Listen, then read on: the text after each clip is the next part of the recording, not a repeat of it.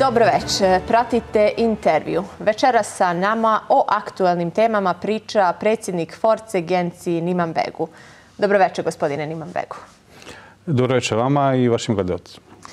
Da počnemo od onog što je aktuelno. Predata inicijativa za e, izglasavanje nepovjerenja 43. vladi. Vi niste potpisnik inicijative. Podsjetit ću da je ranije iz Demokratske partije e, stalno poručivano kako su manjine njihovi tradicionalni, tradicionalni koalicijoni partneri. E, jesu li vas zvali da podržite ovu inicijativu? E, dobro večer još jednom i vašim gledalcima i mir mrama svima. Da, DPS nas je obavijestio da će podnijeti inicijativu i na kraju krajeva ona je bila očekivana da će podnijeti i to ne samo 3. avgusta kad je potpisan e, temeljni ugovor između vlade i Srpske pravoslavne crkve, već e, na neki način i e, ja mislim da je to bilo 8. jula kad je na vladi na, rekao bih, na jedan veoma bučan način i brz način Eh, utvrđen predlog ugovora iz razloga što ja sam bio sudionik uh, jednog od eh, razgovora koordinacije i dan prije, to je 7. jula, mislim da je bio četvrtak, da je od konstituenata ove parlamentarne većine jasno bilo da je prevladava stav da se razmotri nacrtu ugovora na vladi i da se odlučivanje ostavi za kasnije uz očiglednu želju sudionika većine da se on razmotri i da se poboljša, promijeni i da se na taj način učini prihvatljivim za sve. E, samo potpisivanje ove inicijative što se tiče mene kao predsjednika Force ili poslanika u parlamentu, ja nisam to potpisao iz više razloga. E, jedan od razloga je Eh, da mi imamo unutar eh, vlade jednog od ministra, a takođe eh, tu inicijativu i taj stav treba razmotriti i u okviru naše koalicije Albanske liste, gdje je više konstituenata, tako da ćemo mi taj naš konačan stav zauzeti na našim organima, što partijskim, pa posle koalicijonim, da se postavimo u okviru ove inicijative koje je potpisalo 36 poslanika. Jesu li albanske partije sjele za sto da razgovaraju o ovoj inicijativi i kakva je saradnja sa ostalim manjinskim partijama? Pa slušajte, uh, ovu inicijativu nisu, nije, nije potpisala niti bošnjaška stranka. Da. Uh, nemojte zaboraviti da se mi nalazimo u jednom političkom sistemu gdje imamo Uh, jednu krajnu situaciju da je na vladi manjinska vlada. I tokom pregovora oko načina sastavljanja vlade, ja sam možda bio e, imao drugačiji stav od drugih manjinskih partija koji sudjeluju u vladi, da je možda bilo najbolje da se formira politička vlada. I to je možda jedan od uzroka što se nalazimo u ovoj situaciji. E, želim posjetiti i vas i gledalce da e, prva rečenica te preambule oko sporazuma, oko formiranja ove aktualne vlade, e, govori se u tome da je Crna Gora u dubokoj političkoj i institucionalnoj krizi. I manjinska vlada je trebala biti jedna od e, mogućnosti da se da odgovor na tu političku i institucionalnu krizu, osim drugih prioriteta koji su navedeni unutar tog sporazuma. Je li ona to uradila? Čemu ste vi najbliži? Kako ćete vi glasati? Kako ćete se izjasniti? Uh, ova vlada, uh, ja izražavam žaljenje uh, što zbilja uh, ono što je sebi zacrtala uh, koristi ono što pogoduje pojedinim akterima. Ne ono što bi trebalo biti uh, krajni domet jedne demokratije, a da je to da su glasovi većine. Eh, većina u Crnoj Gori je 41 poslanik. I u situaciji kad vlada, sama vlada, dovede sebe u poziciju da posle 100 dana da je na tapetu izglasanje nepoverenja u parlamentu, onda to dovoljno eh, govori da nije dovoljno radila na svojim zatrtanim ciljevima. Eh, znam da je u Crnoj Gori najaktuelniji temeljni ugovor, ali što se tiče, on, to je jedan od prioriteta, recimo, jednog dijela, manjeg dijela konstituenta u ovoj vladi, aktuelnoj. SMP, URA, oni su... Svi smo mi znali da je to jedan od prioriteta, ali nisu bili naši prioriteti. Bili su prioriteti tih subjekata. A je li to... Što se tiče naših prioriteta, recimo, ja smatram da ih nismo uopšte realizirali u ovih sto dana. Da, prekratko je vrijeme. Ali e, nema ni pomaka oko zakona o morskom dobru. Nema pomaka o jačanju lokalnih samouprava kroz jedan zakon koji javnost mal, manju, malo pominje iz razloga, pretpostavljam da toliko tih aktualnih dešavanja na globalnom i na e, državnom nivou, da to nije u fokusu. E, zakon, izmjene zakona o državnoj svojini, gdje bi se trebali jačati lokalne samouprave. Nije pomaka ni u tom dijelu. Nije pomaka u dijelu da se realizira puno zakona, ima ih u najavi, što se tiče prostornog planiranja, prosvjete, školstva, nego jednostavno ovaj period je protekao u tome da e, se politička priča, nažalost, e, ponavlja ponavija se situacija iz e, 2020. Formiranja prethodne vlade. Namjerno vam izbjegavam reći broj 43, 42, zato što je to esencija Eh, nekog mog političkog stava. Treba demokratiju eh, brojati od 1990. Znači, ovo je bila možda deveta vlada ili 13. vlada. Ne znam na pamet broj. Eh,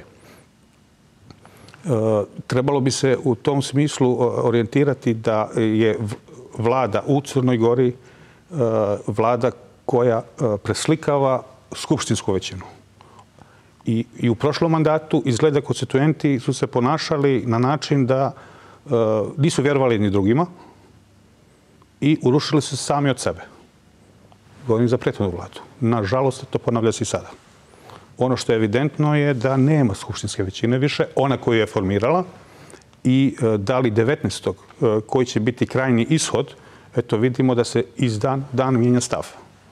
Ne da nema principijalnog stava nekih konstituenata, nego govori se o tome da neće biti većine, onda to imamo izjave sinoć i kolega Mandić bio ovdje, gdje iz nekog političkog rečnika se govori o tome da će biti neka nova većina. Ali čemu ste vi najbliži? E, naš stav je orijentiran na ono što mi idemo pravo i e, zastupamo već više godina, zastupamo, rekao bih, dovoljno e, jasno da javnost preduzima i pored toga što u vašem pitanju oko tradicionalnih partnera stoji taj problem Eh, da su često poistovećivali eh, manjinske partije kao partije koje su bile pri DPS-u ili su, rekao bih, bez nekih eh, velikih otklona išle uz DPS, jasno je bilo da Forca, koju ja predstavljam godinama, i svojim činjenjem, glasanjem, stavovima u parlamentu, mi slijedimo jednu politiku koju mislimo da je politika dobra za predstavljanje našeg naroda i ostvarivanje interesa naše zajednice u Crnoj Gori. Apsolutno ne samo Albanaca, nego i svih građana Crne Gore, a to je e, politika koja vodi ravnomernom razvoju, e, nacionalnim pravima i ovo što je danas treba se dati odgovor treba se dati odgovor. Ono što je evidentno je da većina koja je 28. aprila formirala vladu više ne postoji.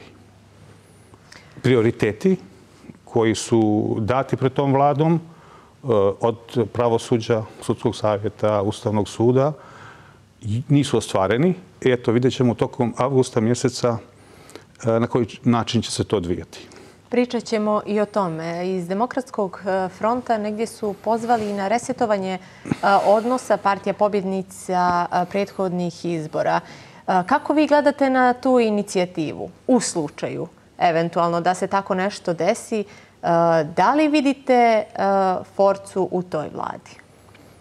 Eh, pa, odgovorit ću na način da ću možda parafrazirati jednog mog prijatelja koji govori da su ljudi da im da su već previše začuđeni ili ne prihvaćaju nagle promjene kurseva. Ili oko često promjene kurseva. Političkih. Tako da u ovoj situaciji najbolje rešenje koje ćemo vidjeti kako posle ovog glasanja je vjerovatno će ići ka tome da se formira vlada koja će dovesti do parlamentarnih izbora, jer to je bio cilj i sadašnje vlade, da se negdje na proljeće sljedeće godine... Jel mislite na tehničku vladu? Tehnička vlada, da li ona ima politički karakter ili to je već do aktera koji imaju uh, potencijal glasova da to ostvare. A mislite stav... da je dobra poruka građanima uh, da u jednom mandatnom periodu imamo tri vlade? Kakva se poruka šalje? Uh, ne znam kako se poruka šalje, da li je dobra ili loša, ali to je, to, to je realitet, to je osnova. Vidite da, da se to dešava. E, sam premijera Bazović e, po meni je e, E, insistiranjem da temeljni ugovor bude što prije na dnevnom redu, to je bila njegova politička procjena, ali je to dovelo do toga da je izgubio većinu u Skupštini, bar po onim potpisnicima koji su potpisali e, zahtjev za izglasavanje nepoverenja. E, takav politički rizik možda se za gospodina Bazovića on procenjuje to isplativ, da vodi Crnogoru u neko stanje gdje ćemo odgovoriti zahtjevima za učlanjenje u Europsku uniju i ispunjavanju uvjeta, ali sigurno da je to, e, da je to e, politički e, krajne riskantno i politički zahtjeva da se sad formira neka, evidentna neka druga većina. Kako će se ona sklopiti? Zbog toga što u Crnoj Gori ne postoji pravi politički dijalog, a to da ne postoji pravi politički dijalog, to vam mogu posvjedočiti i od načina kako funkcionira parlament i od toga kako ne stižemo da odgovorimo na zahtjeve za reformu pravosuđa. Jer da postoji taj politički dijalog, mi bi imali neka rješenja. E, recimo, evo sad imate četiri kandidata za e, sudski savjet koje su, e, tih četiri su izabrani na e, odboru za pravosuđe i politički sistem, ali recimo meni je žao, ja nisam član tog odbora, što među njima nema još puno drugih kandidata koji su bili u tom e, u, to, u, u, u, u ovom konkursu. Tako da to do, dovoljno govori da pravi politički dijalog, dostizanje jednog kvalifikovanog broja glasova, daleko smo od toga možemo li da se vratimo na temeljni ugovor? Kakav je vaš stav po tom pitanju? jeste li pročitali temeljni ugovor i da li mislite da je njime Srpska pravoslavna crkva dobila više u odnosu na druge vjerske zajednice? E, temeljni ugovor da je jednostavno pitanje, on bi bio rješen dugo godinu nazad. I e, samo rješavanje tog e, pitanja odnosa između države i Srpske pravoslavne crkve e, e, neminovno vodi u diskusijama ili o raspravama oko istorije, oko nacionalnog identiteta i e, mi kao Albanci zbilja e, pokušavali smo u ovoj situaciji biti što manje u prvom redu što se tiče e, podržavanja ili nepodržavanja temeljnog ugovora ili odnosa. Mi smatramo kao i sve partije koji su u parlamentu Crne Gore, jer tako su se izjasnile, da su za postizanje ovog ugovora između države i Srpske pravoslavne crkve s tim da znate da e, određene partije, a i ja lično, e, za određene e, formulacije u tom ugovoru preferirao bi da su drugačije. Preferirao bi da su drugačije i to se pokazalo i time da tokom glasanja, jer dogovor između konstituenata je bilo da ne bude glasanja tog 8. jula, da se on raspravi, da se u dijalogu formirana komisija, da se dođe do nekih rešenja. Nažalost, nije ništa promenjeno u tom ugovoru, što je dovelo do toga da je izgupljena većina. E, gospodin Dukaj, koji je ministar ispred naše koalicije u, u, u vladi, e, on nije prisutvao glasanju u vladi i e, time je na neki način iskazao svoj stav. Iskazao stav da e, nepoštovanje tog dogovora oko glasanja, a i pozicioniranje e, lično da misli da je to, na neki način tu trebalo čak i doći do neke kvalifikovane većine koja bi bila jasno okarakterizovana kao većina koja dolazi od dijela Srba i Crnogoraca koji su konstituenti u toj vladi. Je li vama nešto konkretno sporno u ugovoru?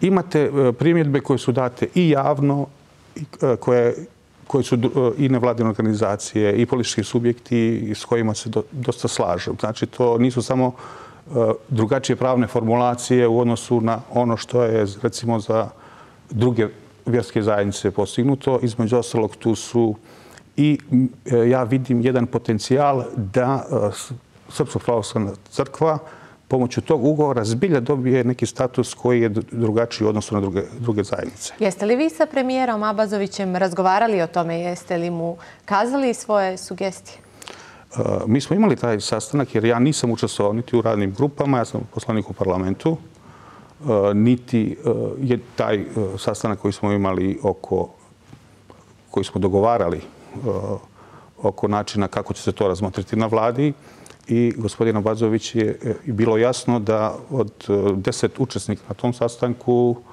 da osam misli da se glasanje i da se treba ići u e, korigovanje tog ugovora. E, gospodin Bazović je sutradan već išao na glasanje i e, daljna priča oko toga je bila izgleda jer nije bilo ni načina da se što izmjeni, nije dozvodavano da se što izmjeni u tom ugovoru. Još jedna tema koja je onako e, podijelila javnost, ali evo ona je sad e, negdje po strani, to je Otvoreni Balkan inicijativa. S jedne strane imamo e, predsjednika Srbije Aleksandra Vučića koji negdje propagira tu inicijativu.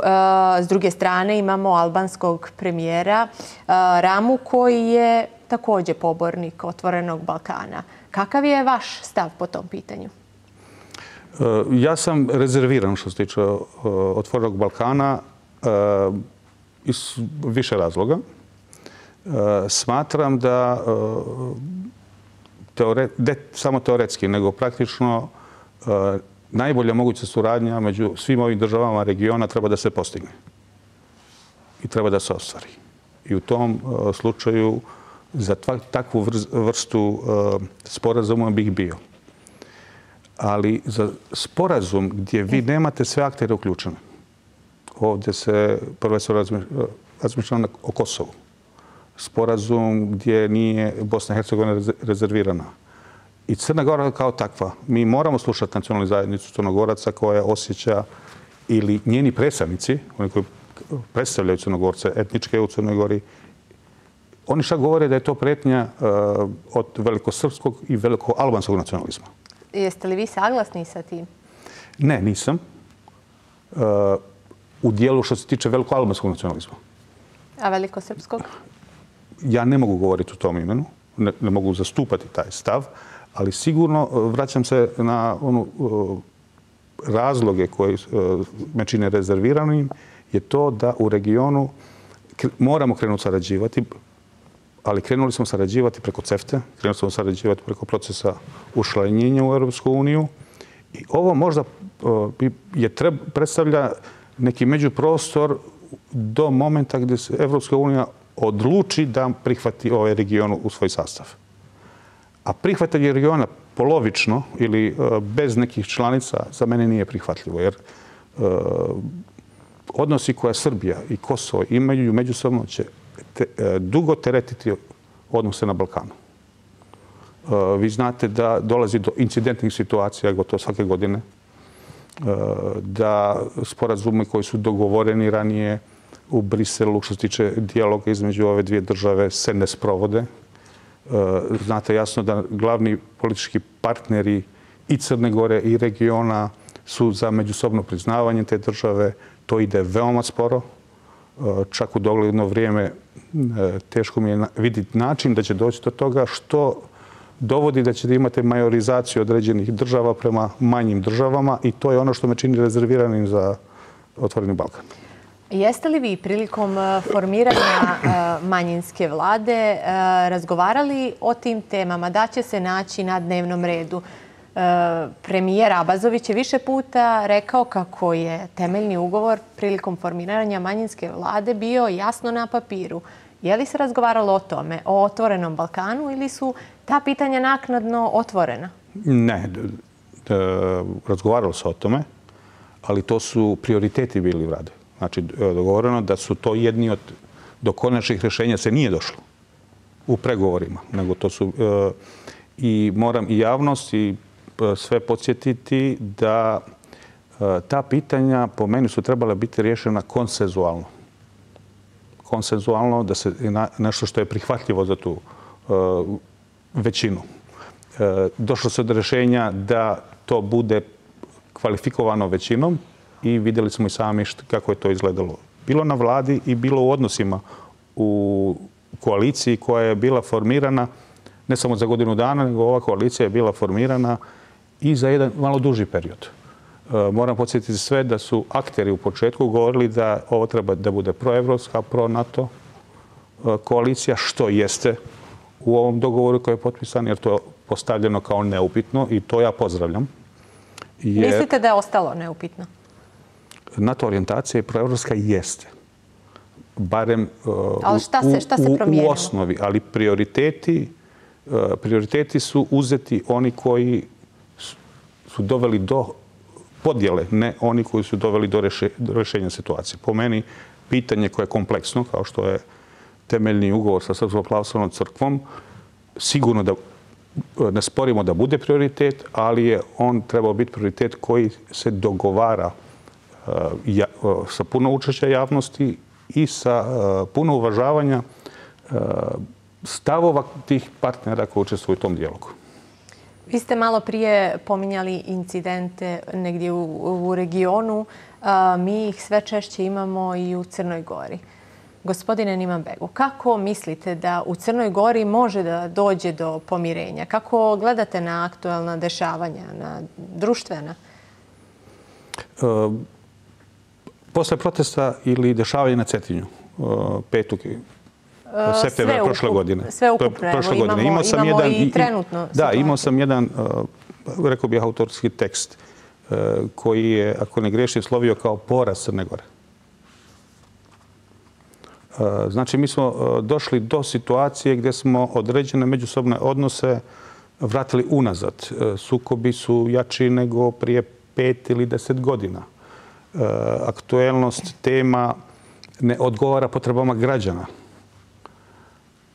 Ali također ja se ne slažem s time da su to teme koje su nametnute uvijek samo od strane političara. Ko ih nameće? Eh, one su nametnute i od strane, u ovom slučaju, eh, određenih subjekata koji puno utiču na i politički i društveni život u Crnoj Gori. Vanjskih faktora, bilo da su to faktori kojima ne ide u prilog da Crna Gora brže korača po evropskih integracija. Isto mislite na političare, je li tako? Govorim i političare i subjekte koji su... Nemojte zaboraviti da ono što se dešava na ovim prostorima je samo kontinuitet odnosa u prošlosti. Rezultat odnosa koji odnosa decenijskih i vjekovnih.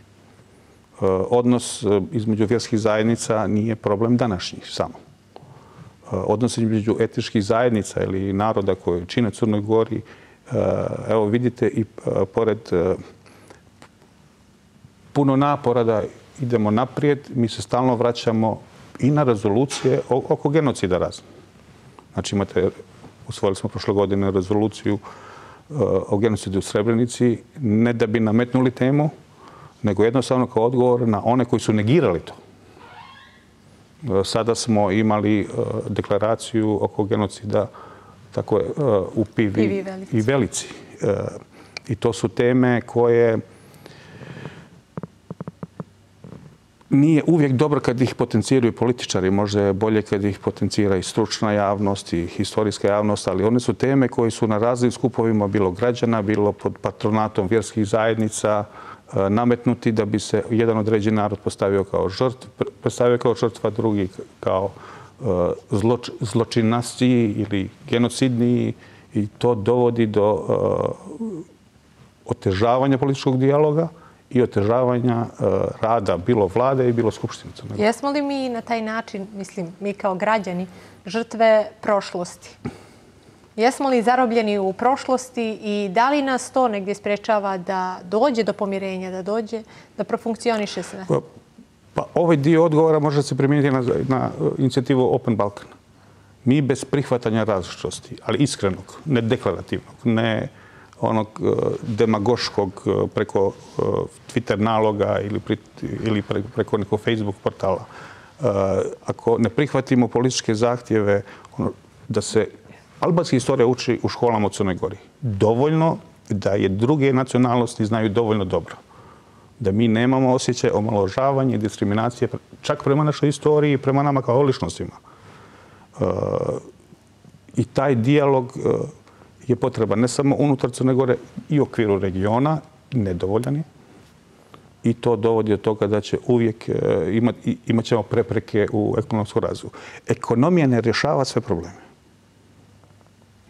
Često se dovodi do, e, rekao bih, javnost u neku polu zabludu kad bi bili bogato društvo, društvo pune zapošljenosti, ne, bi imali ovo probleme. Da ne bismo pričali o, o, istoriji. Ali onda ja podsjećam, svi govore o nekom slavnom ili nekom zlatnom dobu krajem 80-ih kad smo bili bogatije ili bolje društvo i završili smo u ratu. Završili smo u ratu 1991. godine, koje je trao do 2001. godine u regionu. I čak imate... E, vaša medijska kuća možda je bila i najblaža, ali imali smo serijal e, informacija da se 5. E, avgusta, da je to dan kad je srpska zajednica protjerana iz Hrvatske. Nisam čuo da je to dan kad se naša prijateljska NATO država oslobodila od okupacije, od Republike Srpske. To je, to je bio uh, jedan uh, nacionalni pokret oko stvaranja Velike Srbije u regionu. I uh, Znači, taj revizionizam u istoriji ne želim umanjiti, jer govorići kao albanac o ovim događajima, javnost je to potpuno može drugačije ili smatrati kao da je nešto zlonamjerno ili tendencijozno, ali Hrvatska je naš NATO prijatelj. Mi smo saveznici, zvanišni s njima. I zamislite kako se osjećaju e, i Hrvati koji su u Crnoj Gori kad slušaju takve vijesti. Tako se dešava nam Albancima, što se tiče naše istorije, da, naših odnosa s druge strane. Tako da smo mi veoma osjetljivi, mi kao Albanci posebno, za stavove Crnogorske nacionalne zajednice u Crnoj Gori. Zato kako se oni osjećaju u ovom procesu, kako osjećaju ovaj ugovor, kako osjećaju političke dešavanje u Crnoj Gori. I to će sigurno uh, biti i odlučujuće za, za naše političko uh, uh, pozicioniranje u budućnosti. Mi ne želimo biti između dvije zajednice, jednostavno treba se prihvatiti naš put koji je u dobrobit za Crnogoru. Da, pređemo na druge teme. E, kako gledate na posljednja hapšenja? Uhapšeni su neki čelni ljudi pravosuđa, bezbjednostnog sektora, ali i e, članovi upravnih odbora nekih državnih preduzeća. Različite smo komentare mogli čuti u posljednje vrijeme na, na ta hapšenja. Koji je vaš komentar? E, slušajte, komentar je uvijek se prolazi od pre, prezumcije nevinosti. Ali to dovoljno pokazuje da e, period demokratizacije Crne Gore je imao puno slabosti. E, nažalost, e, period, jer politički ja dijelim Crnogoru negdje od 1991. do 1998. kad je bila jedna rekao bih, pogrešnija politička ideologija i 98. na ovamo gdje zbilja e, počinjemo da e, jača, jačamo ljudska, manjinska, ekonomska prava. I u tom procesu e, nedovoljno su radili na jačanju institucija. Nedovoljno. Na samostalnosti institucija, na jačanju institucija. I samim tim da smo imali, i danas imamo dileme da li neko trebao biti treći mandat ili ne, to dovoljno govori da zbog ličnih interesa E, dozvoljavamo da se e, neka lica i osobe toliko osnaže u institucijama da dolazi do korupcije, dolazi do toga da zlopotrebljavaju ono što je vlasništvo građana. Ako je neko u upravnom odboru nekog preduzeća, on ne, ne bi trebao predstaviti političku partiju koja ga tu delegirala, nego da radi u najboljem interesu građana. I uopšte mi nije žao tih ljudi koji su hapšteni, i iz samog razloga što su i trebali imati dovoljno odgovornosti da znaju da ono što rade je pogrešno. Nisu imali. I e, mora vas podsjetiti da se e, na jedan slučaj koji e, se u Ulcinju naziva K1, a to je Ulcinj tužbe e, jednog fantomskog preduzeća od Crnoj Gori Rekreatursa, koje je kupljen od gospodina Kneževića koji je sada u Velikoj Britaniji. I sve što je gospodin Knežević u Crnoj Gori radio je bilo pogrešno. Jedino ta tužba protiv opštine Ulcinj je rezultirala da, da opština Ulcinj ostaje bez e, šest i nešto miliona eura. To je, bio, to je, bilo, to je po meni bila uh, sigurno jedna korupcijska afera, ali ja nemam dokaza za to. Ja to osjećam. Uh, presuda je bila tolika da je to jedan cijeli budžet za jednu opštinu. I onda je naravno da se mi osjećamo i diskriminirani, i nedovoljno zastupljeni, i, i nemamo poverenje u institucije. Ali evo, to je posao za nadležne da se oni time bave. E, samo za kraj, da se vratimo na, da pređem na lokalne teme. U Ulcinju ste e, formirali, e, odnosno odlučili ste da činite vlast sa koalicijom okupljenom oko URE. Niste pošli sa DPS-om i sa Demokratskom unijom Albanaca. Zbog čega ste donijeli takvu odluku? Moje vjerovanje je bilo da u Ulcinju treba jedan stabilna vlast. I ta stabilna vlast e, sada se rezultira time da su e, ljudi koji e, nisu u prošlosti bili opterećeni bilo aferama, bilo pod utjecajem političkih snaga, da treba im se pružiti prilika da rade, da se dokazuju. Ova politička elita koja i u Ulcinju i u Crnoj Gori je neizvjenično na neki način istrošena zbilja trebaju ljudi i unutar naših političkih subjekata koji su mlađi, koji imaju e, dovoljno znanja i želje da, se, da rade za dobrobit zajednice. Jeste li vi zadovoljni kako funkcioniše lokalna uh, vlast u Ulcinju? Uh, mi smo tek ove sedmice preuzeli i javna preduzeća. Znači, ovo je u samom začetku. Uh, nadam se da će saradnja između politički subjekt koji, koji činemo vlast u Ulcinju e, biti svaćena na način kao što ja predstavljam u koalicijalnim razgovorima. E, ja je predstavljam na taj način da mi moramo e, raditi sa puno poverenja jedni u druge i bez nekih skrivenih političkih ciljeva profitiranja u kratkom roku, nego zbilja moramo jednu zajednicu koja ima veliki potencijal dovesti do boljeg statusa. Boljeg statusa Eh, mi imamo javna preduzeća u Ulcinju koja su e, gotovo bankrotirana sa velikim dugovanjima. Preduzeće je u preduzeće opština je u sanacionalnom ugovoru sa državom, znači ne ne obslužuje sve svoje obaveze prema i prema državi i prema radnicima i prema iz toga je potrebna jedna nova energija.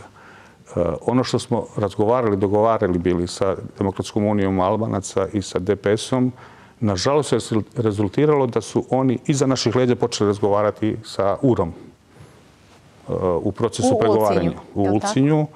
I to je dovelo do toga da ja sam presjekao i odlučio da idemo putem koji eh, daje više mogućnosti za građane Ulcinja i nemojte zaboraviti da je ta koalicija okupljena oko URE u Ulcinju, e, Demokratske partije, Albanska alternativa je bila tu, SD i SDP, ipak su dobili 43% poverenja građana.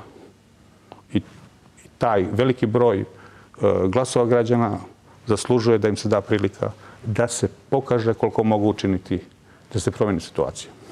Gospodine Nimabegu, nemamo više vremena. Hvala puno što ste bili naš gost. Hvala vama na pozivu. Uvaženi gledalci, hvala i vama što ste pratili intervju na javnom servisu. Prijatno večer.